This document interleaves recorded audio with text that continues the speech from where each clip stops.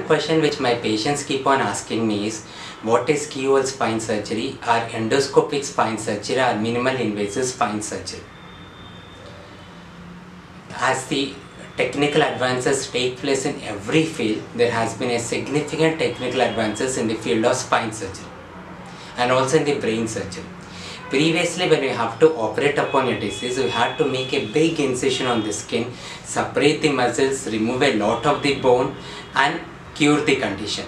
So this big incision on the skin, separating the muscles, removing a significant part of the bone is the collateral damage which will cause to the person while dealing the disease.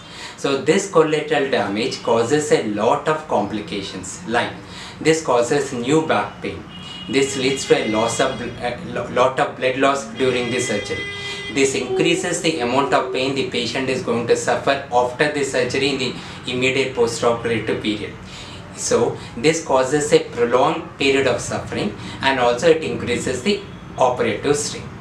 So to overcome this collateral damage of an open surgery, what has been designed and what has become very famous of the last few years is, is the endoscopic spine surgery or keyhole spine surgery or minimally invasive spine surgery. So first let us understand what is the difference between a minimal invasive spine surgery or keyhole spine surgery and an open spine surgery. In keyhole spine surgery, as the name implies, the access to the pathology, to the disease is by a small skin incision. In majority of the cases, the skin incision is less than 1 centimeter.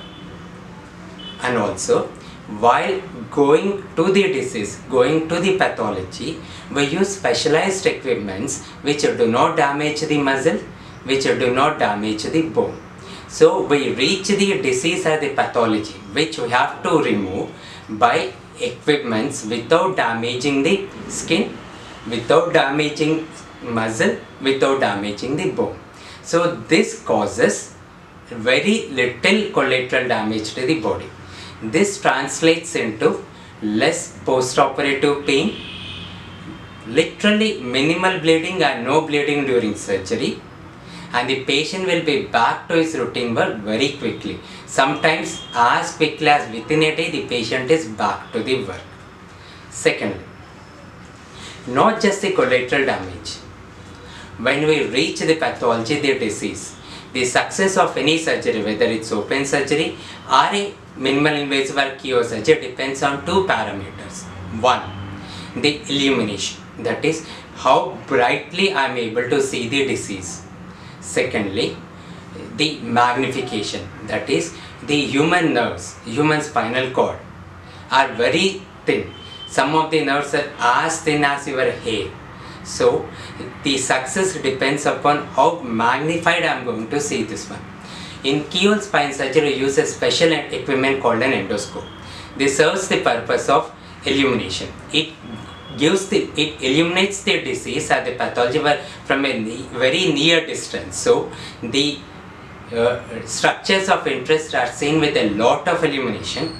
Secondly, it magnifies the image by 5 times, 10 times, 20 times. So the small hair-like structure that is in nerves are seen as big as your pen, as thick as your pen. So when the surgeon is able to see the disease with a bright illumination, with a large magnification, his capacity or capability of removing the disease without causing harm to the normal nerves increases. So the keyhole spine surgery is more safe it becomes more safer and more effective than an open surgery without magnification and illumination. And third one, this keyhole spine surgery requires special training and special expertise and special instruments. These instruments and the expertise and training brings out outcomes which are much better than the open spine surgery. Thank you.